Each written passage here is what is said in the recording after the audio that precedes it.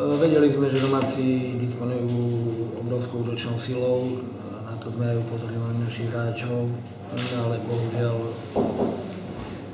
prvých 10 minút a sme tam mali 3 góly.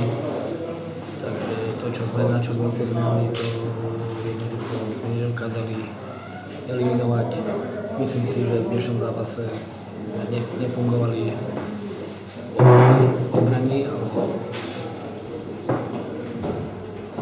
nie, hra obranca, ale celej peťky alebo celej, celého musa ako obrana hra. Dominoval, dominoval útok nad obranou.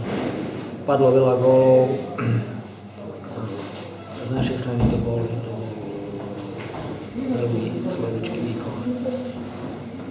Musíme si, musíme si sadnúť určite a rozobrať všetko dodávať do, do detailov, pretože uh, niektoré veci sem